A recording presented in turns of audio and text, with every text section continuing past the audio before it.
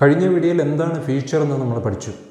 ഇന്നിപ്പോൾ അതിന്റെ തുടർച്ചയായിട്ട് എന്താണ് ഓപ്ഷൻ സെല്ലിംഗ് അതേക്കുറിച്ചാണ് ഇന്നത്തെ ഈ വീഡിയോ വീഡിയോ പൂർണമായും കാണാൻ ശ്രമിക്കുക.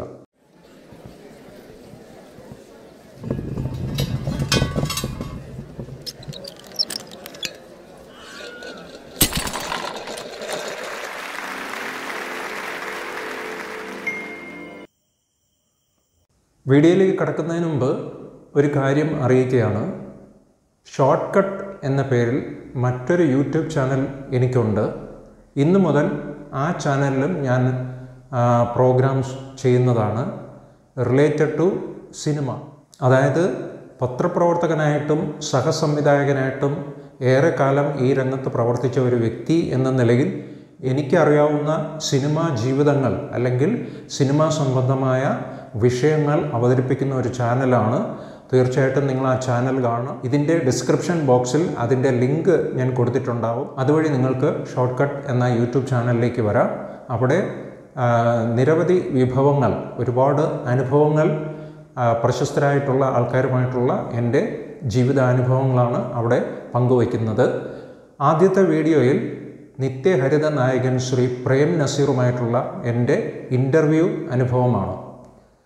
പ്രേം നസീറിന്റെ അവസാനത്തെ ഇന്റർവ്യൂ ചെയ്യാനുള്ള ഭാഗ്യം കിട്ടിയ ഒരു വ്യക്തിയാണ് ഞാൻ. തീർച്ചയായിട്ടും നിങ്ങൾ ആ ചാനൽ സന്ദർശിക്കുക വീഡിയോ കാണുക നിങ്ങളുടെ അഭിപ്രായങ്ങളും നിർദ്ദേശങ്ങളും പങ്കുവയ്ക്കുക. അപ്പോൾ എന്താണ് ഓപ്ഷൻ സെല്ലിംഗ് അതിനെക്കുറിച്ചാണ് ഇന്നത്തെ ഈ വീഡിയോ എന്ന് പറഞ്ഞു. നമ്മൾ മുൻപ് പറഞ്ഞതാണ് ഓപ്ഷൻ സെല്ലിങ്ങും അതുപോലെ ഫീച്ചറും രണ്ടും കോൺട്രാക്റ്റ് ബിസിനസ്സാണ് ഡെറിവേറ്റീവ്സ് ആണ്. ഒരു അസറ്റിൽ നിന്ന് ഉത്ഭവിക്കുന്ന ഒരു പ്രൈസ് വാല്യൂ. ആ പ്രൈസ് വാല്യൂ നമ്മൾ കോൺട്രാക്റ്റിലൂടെ നേടുകയും പിന്നീട് അത് പ്രോഫിറ്റബിളായി മറ്റൊരാൾക്ക് കൈമാറിക്കൊണ്ട് നേട്ടം എടുക്കുന്നതിനെയാണ് നമ്മൾ ഫീച്ചേഴ്സ് ആൻഡ് ഓപ്ഷൻസ് എന്ന് പറയുന്നത്. അതിൽ ഫീച്ചർ എങ്ങനെയാണ് വർക്ക് ചെയ്യപ്പെടുന്നത് എന്ന് കഴിഞ്ഞ വീഡിയോയിൽ ഞാൻ വിശദമായി പരാമർശിച്ചിരുന്നു. ഇന്നിപ്പോൾ ഓപ്ഷൻ സെല്ലിംഗ് എങ്ങനെയാണ് സംഭവിക്കുന്നത് എന്ന് നോക്കാം.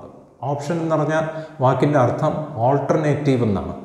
എന്താണ് ഈ ഓൾട്ടർനേറ്റീവ് നിങ്ങൾക്ക് ഒരു ബെസ്റ്റ് ചോയ്സ് ഉണ്ടാവും. ഇപ്പോൾ ഉദാഹരണത്തിന് നമ്മളൊരു ഷോപ്പിൽ പോയിട്ട് ഒരു ക്ലോത്ത് പർച്ചേസ് ചെയ്യുകയാണ്. ഒരു ജീൻസോ അല്ലെങ്കിൽ ഷർട്ടോ പർച്ചേസ് ചെയ്യുന്നു. അപ്പോൾ വളരെ ചീപ്പായിട്ടുള്ള ക്വാളിറ്റിയിലുള്ള ഷർട്ടും ഉണ്ടാകും എന്നാൽ വലിയ ക്വാളിറ്റിയുള്ള ഷർട്ടും ഉണ്ടാകും അപ്പോൾ നമുക്കവിടെ ഒരു ഓപ്ഷൻ ഉണ്ട്. കുറഞ്ഞ വിലയിലുള്ള ഷർട്ടും വാങ്ങാം. എന്നാൽ കൂടിയ വിലയിലുള്ള ഷർട്ടും ഇതിന് സമമായിട്ട് സ്റ്റോക്ക് മാർക്കറ്റിൽ നടക്കുന്ന ഒരു കോൺട്രാക്റ്റ് ബിസിനസ്സാണ് ഓപ്ഷൻസ് എന്ന് പറയുന്നത്. ഈ ഓപ്ഷൻ ഇപ്പം എങ്ങനെയാണ് വർക്കൗട്ട് ചെയ്യുന്നത്? ഞാനൊരു എക്സാമ്പിളിലൂടെ ആദ്യം ഇത് വിശദമാക്കാം. ഇപ്പോൾ റിയൽ എസ്റ്റേറ്റ് സെക്ടറിലേക്ക് പോയി കഴിഞ്ഞാൽ നമുക്ക് കാണാൻ പറ്റുന്ന ഒരു ബിസിനസ് രീതിയാണ് വാസ്തവത്തിൽ ഓപ്ഷൻ എന്ന് പറയുന്നത്. ഇപ്പോൾ ഒരാൾ ഒരു സ്ഥലം കണ്ടു അദ്ദേഹത്തിന് ആ സ്ഥലം ബോധ്യപ്പെട്ടു. അപ്പോൾ ഇവിടെ ഒരു ടോക്കൺ എമൗണ്ട് കൊടുക്കുന്നു.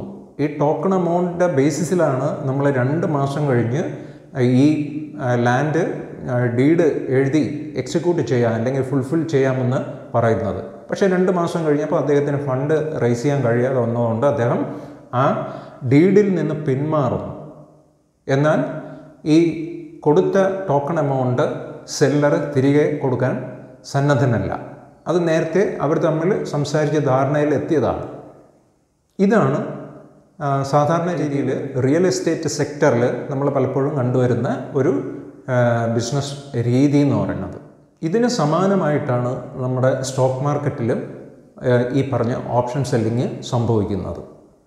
നമ്മൾ കഴിഞ്ഞ വീഡിയോയിൽ പറഞ്ഞ ഫീച്ചേഴ്സിൽ നമ്മൾ ഇതേപോലെ ഭാവിയിൽ ഒരു ഡേറ്റ് ഫിക്സ് ചെയ്തുകൊണ്ട് പ്രസന്റിൽ ഒരു കോൺട്രാക്റ്റിൽ സൈൻ ചെയ്യുകയും എന്നാൽ ആ പറഞ്ഞ എക്സ്പയർ ഡേറ്റിൽ ഇത് നമ്മൾ എക്സിക്യൂട്ട് ചെയ്തിരിക്കണം.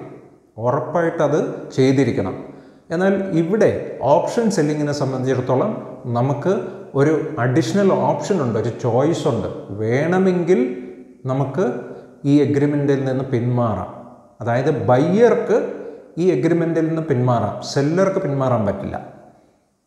അതാണ് ഈ സ്റ്റോക്ക് മാർക്കറ്റിലുള്ള ഒരു ഓപ്ഷൻ സെല്ലിങ്ങിന്റെ ഒരു പ്രത്യേകത എന്ന് പറയുന്നത്. ബയ്യർക്ക് വേണമെങ്കിൽ ഈ ഡീലിൽ നിന്ന് പിന്മാറാം. അങ്ങനെ ഡീലിൽ നിന്ന് ഈ ബയ്യർ പിന്മാറുമ്പോൾ അദ്ദേഹം കൊടുത്ത ഈ ടോക്കൺ മണി അദ്ദേഹത്തിന് നഷ്ടപ്പെടും. ഓപ്ഷൻ പ്രീമിയം എന്നാണ് ഇത് അറിയപ്പെടുന്നത്. ഇങ്ങനെ ബയ്യർക്ക് പിന്മാറാനും എന്നാൽ സെല്ലർക്ക് പിന്മാറാനും കഴിയാത്ത ഒരു കോൺട്രാക്റ്റിനാണ് നമ്മൾ ഓപ്ഷൻ സെല്ലിംഗ് എന്ന് പറയുന്നത്. ഇനി ഇത് നമ്മൾ നേരെ സ്റ്റോക്ക് മാർക്കറ്റിൽ എങ്ങനെ റിഫ്ലക്റ്റ് ചെയ്യുന്നു? അല്ലെങ്കിൽ ഏത് രീതിയിലാണ് ഇത് അവിടെ നമുക്ക് വർക്കൗട്ട് ചെയ്യാൻ പറ്റുന്നത് എന്നും കൂടെ ഒന്ന് പരിശോധിക്കാം. നമ്മളിപ്പോൾ കഴിഞ്ഞ ദിവസം പറഞ്ഞു കാനറ ബാങ്കിന്റെ ഒരു സ്റ്റോക്ക് മുന്നൂറ്റി ഇരുപത് രൂപയ്ക്ക് നമ്മൾ ഫ്യൂച്ചറിൽ വാങ്ങാൻ ഒരു ചോയ്സ് ഉണ്ട് എന്ന് പറഞ്ഞു. അത് തന്നെ നമ്മൾ ഓപ്ഷനിലേക്ക് എടുക്കുകയാണെങ്കിൽ മുന്നൂറ്റി ഇരുപത് രൂപയ്ക്ക് നമ്മൾ ഒരു ലോട്ട് അയ്യായിരം ഷെയർ വാങ്ങാൻ തീരുമാനിച്ചുകൊണ്ട് ഓപ്ഷൻ സെല്ലിങ്ങിന് നമ്മളൊരു ഓപ്ഷൻ കോൺട്രാക്റ്റിൽ ഏർപ്പെടുന്നു. അപ്പോൾ ഈ ഓപ്ഷൻ കോൺട്രാക്റ്റിൽ ഏർപ്പെടുമ്പോൾ സ്വാഭാവികമായിട്ടും അതിന് സമാനമായിട്ട് ഓപ്ഷൻ പ്രീമിയം എന്ന് പറയുന്നത് അഞ്ച് രൂപ അൻപത് പൈസയാണ്. അങ്ങനെ അഞ്ച് രൂപ അൻപത് പൈസ വെച്ച് അയ്യായിരം സ്റ്റോക്കിനുള്ള പ്രീമിയം എമൗണ്ട് നമ്മൾ ആദ്യമേ കൊടുക്കുന്നു.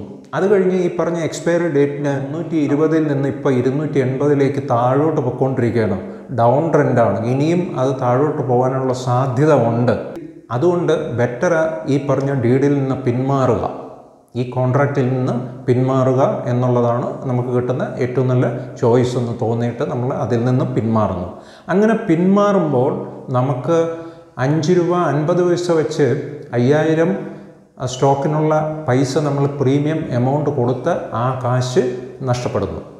മറിച്ച് നമ്മൾ അത് വാങ്ങാൻ നിന്നാൽ നമുക്ക് വലിയ ഹ്യൂജ് നഷ്ടമാണ്. കാരണം അഞ്ച് രൂപ അൻപത് പൈസയേക്കാളും താഴെയാണ് ഇപ്പോൾ നിൽക്കുന്നത്. മുന്നൂറ്റി ഇരുപതിൽ നിന്ന് ഇരുന്നൂറ്റി എൺപതിൽ എത്തി നിൽക്കുകയാണ്. നാൽപ്പത് രൂപയുടെ വ്യത്യാസം അവിടെ വന്നിരിക്കുകയാണ്. അപ്പം നാൽപ്പത് രൂപ ഇന്റു ഫൈവ് തൗസൻഡ് എന്ന് പറയുന്നത് ഒരു ഹ്യൂജ് എമൗണ്ടാണ്. അതുമായിട്ട് താരതമ്യം ചെയ്യുമ്പോൾ ആ, അയ്യായിരം ഇന്റു അഞ്ച് രൂപ അൻപത് പൈസ എന്ന് പറഞ്ഞാൽ അത്രയും ഹ്യൂജ് എമൗണ്ട് അല്ല. അപ്പം വലിയ ലോസ് നമുക്ക് ഒഴിവാക്കാൻ ഈ ഒരു പ്രീമിയം എമൗണ്ട് കൊടുത്തത് കൊണ്ട് മാത്രം നമുക്ക് സാധിക്കുന്നു. എന്നാൽ ഇതിപ്പോൾ ഫ്യൂച്ചറിലായിരുന്നെങ്കിലോ നമ്മൾ എക്സിക്യൂട്ട് ചെയ്യേണ്ടി വരുമായിരുന്നു. നാൽപ്പത് രൂപ വെച്ച് അയ്യായിരം ഷെയറിനുള്ള പൈസ നമുക്ക് നഷ്ടം വരും. ഇവിടെയാണ് ഈ ഓപ്ഷൻ കൊണ്ടുള്ള ഒരു നേട്ടം പറയുന്നത് നമുക്ക് നഷ്ടം വന്നാൽ ആ നഷ്ടം നമുക്ക് കൺട്രോൾ ചെയ്യാൻ പറ്റുന്നു. വലിയ നഷ്ടത്തിലേക്ക് കൂപ്പ് കുത്താതിരിക്കാനുള്ള ഒരു ചോയ്സാണ് നമുക്ക് അവിടെ കിട്ടുന്നത്. മറിച്ച് ഇത് മുന്നൂറ്റി ഇരുപത് കടന്ന് മുന്നൂറ്റി അൻപതോ മുന്നൂറ്റി എൺപതോ ആയാൽ നമുക്ക് പ്രശ്നമില്ല. നമുക്കത് ബൈ ചെയ്യാം. നമുക്ക് ആ കോൺട്രാക്റ്റിൽ ഏർപ്പെടാം. അത്തരത്തിൽ നമുക്ക് പ്രോഫിറ്റ് ഉണ്ടാക്കാം. ഇതാണ് ഈ പ്രീമിയം എമൗണ്ട് കൊടുത്തുകൊണ്ടുള്ള ഓപ്ഷൻ സെല്ലിംഗ് എന്ന് പറയുന്നത്. ഇവിടെ നമ്മൾ മനസ്സിലാക്കേണ്ടത് മുന്നൂറ്റി ഇരുപത് രൂപയിൽ നിന്ന് മുന്നൂറ്റി അൻപതോ മുന്നൂറ്റി അറുപതോ രൂപ ആകുമ്പോൾ സെല്ലർക്ക് ഈ ബിസിനസ്സിൽ നിന്ന് പിന്മാറാൻ പറ്റില്ല. അതേ സ്ഥാനത്ത് വില കുറയുന്ന സമയത്ത് ബയ്യർക്ക് ഇതിൽ നിന്ന് പിന്മാറാം. വില കൂടി നിൽക്കുകയാണെങ്കിൽ മാത്രമേ അദ്ദേഹം ഈ ഇത് എക്സിക്യൂട്ട് ചെയ്യുന്നുള്ളൂ. കാരണം സ്ട്രൈക്ക് റേറ്റ് എന്ന് പറയുന്നത് മുന്നൂറ്റി ഇരുപത് രൂപയാണ് പ്രീമിയം എന്ന് പറയുന്നത് അഞ്ച് രൂപ അൻപത് പൈസയാണ്. അപ്പോൾ സ്ട്രൈക്ക് റേറ്റും പ്രീമിയവും കൂടെ നമ്മൾ കൂട്ടുമ്പോൾ മുന്നൂറ്റി ഇരുപത്തി അഞ്ച് രൂപ അൻപത് പൈസ ആയി കഴിഞ്ഞു. അപ്പം അതിനും മേളിൽ പോകുമ്പോൾ മാത്രമേ ബയ്യർക്ക് പ്രോഫിറ്റ് ഉള്ളൂ. അപ്പം നേട്ടം കിട്ടുകയാണെങ്കിൽ ബയ്യർക്ക് നേട്ടം ഉണ്ടാക്കാനും നഷ്ടം വരികയാണെങ്കിൽ ആ നഷ്ടത്തിന്റെ അളവ് കുറയ്ക്കാനും ഈ പറഞ്ഞ ഓപ്ഷൻ പ്രീമിയം കൊണ്ട് സാധിക്കുന്നു. ഇതാണ് ഓപ്ഷൻ സെല്ലിങ്ങിന്റെ ഏറ്റവും വലിയ അട്രാക്ഷൻ എന്ന് പറയുന്നത്. പ്രൈസ് വാല്യൂ എത്രത്തോളം മുമ്പോട്ട് പോകുന്നോ അതിന് ആനുപാതികമായിട്ട് ഓപ്ഷൻ പ്രീമിയവും മുമ്പോട്ട് പൊക്കൊണ്ടേയിരിക്കും കാനറ ബാങ്കിന്റെ ഈ മുന്നൂറ്റി ഇരുപത് രൂപയുടെ ഷെയർ കുറച്ച് ദിവസം കഴിഞ്ഞപ്പോൾ ഒരു രണ്ടോ മൂന്നോ ദിവസം കഴിഞ്ഞപ്പോൾ അത് മുന്നൂറ്റി നാൽപ്പത് രൂപയിലെത്തി. അപ്പോൾ അതിന് ആനുപാതികമായിട്ട് അതിന്റെ പ്രീമിയം എന്ന് പറയുന്നത് ഇപ്പോൾ ഏതാണ്ട് പതിനൊന്ന് രൂപയിൽ എത്തി നിൽക്കുന്നു. ഇപ്പോൾ നമ്മുടെ ബയ്യർക്ക് തോന്നുകയാണ് എന്തുകൊണ്ട് ഈ കോൺട്രാക്റ്റ് കൈമാറിക്കൂടാ? ഇപ്പോൾ ഇത് മറ്റൊരാൾക്ക് കൈമാറുകയാണെങ്കിൽ അഞ്ച് രൂപ അൻപത് പൈസയുടെ പ്രോഫിറ്റ് അവിടെയുണ്ട്. കാരണം അഞ്ച് രൂപ അൻപത് പൈസയുടെ പ്രീമിയമാണ് ഇപ്പോൾ അത് പതിനൊന്ന് രൂപ ആയിരിക്കുന്നു. ഇരട്ടി ആയിരിക്കുകയാണ്. ഈ സമയത്ത് ഈ പ്രീമിയം വേണമെങ്കിൽ ഇദ്ദേഹത്തിന് മറ്റൊരാൾക്ക് കൈമാറാം. അങ്ങനെ ഈ പ്രീമിയം കൈമാറുന്നതിലൂടെ തന്നെ പ്രോഫിറ്റ് ഉണ്ടാക്കാം. ഫീച്ചറിൽ നമ്മൾ പറഞ്ഞു ഫീച്ചർ വേണമെങ്കിൽ നമുക്ക് ട്രേഡ് ചെയ്യാം. അവിടെ പക്ഷേ പ്രീമിയം എമൗണ്ട് ഇല്ല. ആ കോൺട്രാക്റ്റാണ് നമ്മൾ ഹാൻഡ് ഓവർ ചെയ്യുന്നത്. ഇവിടെ നേരെ തിരിച്ച് നമ്മളൊരു പ്രീമിയം എമൗണ്ട് അടച്ചതുകൊണ്ട് നമ്മുടെ ഒരു ഓപ്ഷൻ എന്ന് പറയുന്ന ആ പ്രീമിയം എമൗണ്ടാണ് നമ്മൾ ആ എമൗണ്ടിനുള്ള ആ പ്രീമിയം കോൺട്രാക്റ്റാണ് മറ്റൊരാൾക്ക് ഹാൻഡ് ഓവർ ചെയ്യുന്നത്. അങ്ങനെയാണ് നമ്മൾ അവിടെ പ്രോഫിറ്റ് ഉണ്ടാക്കുന്നത്. അപ്പോൾ ഈ രീതിയിൽ ബയ്യർക്ക് ഒന്നിൽ കൂടുതൽ ഓപ്ഷൻ ഉണ്ട്. ഒന്നുകിൽ കോൺട്രാക്റ്റിൽ നിന്ന് പിന്മാറാം. നഷ്ടത്തിലാണ് പോകുന്നതെങ്കിൽ കോൺട്രാക്റ്റിൽ നിന്ന് പിന്മാറുമ്പോൾ അദ്ദേഹത്തിന് ആ പ്രീമിയം എമൗണ്ട് നഷ്ടപ്പെടും. മറിച്ച് കൂടുന്നു. വില കൂടുന്ന അവസരത്തിൽ അദ്ദേഹത്തിന് വേണമെന്നുണ്ടെങ്കിൽ അത് എക്സിക്യൂട്ട് ചെയ്യാം. ആ സ്റ്റോക്ക് വാങ്ങിക്കൊണ്ട് ആ കോൺട്രാക്റ്റ് എക്സിക്യൂട്ട് ചെയ്യാം. അതുമല്ലെന്നുണ്ടെങ്കിൽ അദ്ദേഹത്തിന് തോന്നുകയാണ് ഇത് വാങ്ങണ്ട. പകരം പ്രീമിയം മറ്റാർക്കെങ്കിലും കൈമാറിക്കൊണ്ട് കിട്ടുന്ന പ്രോഫിറ്റ് എടുക്കാം. അങ്ങനെ വരുമ്പോൾ ഈ പറഞ്ഞ ദിവസം നമ്മൾ ഈ പറഞ്ഞ എക്സ്പയറി ഡേറ്റിന് മുമ്പ് തന്നെ ഈ പ്രീമിയം മറ്റൊരാൾക്ക് കൈമാറിക്കൊണ്ട് അദ്ദേഹത്തിന് പ്രോഫിറ്റ് എടുത്ത് പിന്മാറാം. ഇതാണ് സാമാന്യമായ അർത്ഥത്തിൽ ഓപ്ഷൻ സെല്ലിംഗ് എന്ന് പറയുന്നത്. ഈ വീഡിയോ നിങ്ങൾക്ക് മനസ്സിലായി അല്ലെങ്കിൽ പ്രയോജനപ്പെട്ടു എന്ന് ഞാൻ വിശ്വസിക്കുന്നു. മറ്റൊരു വീഡിയോയുമായി വീണ്ടും കാണാം. അതുവരേക്കും നന്ദി നമസ്കാരം.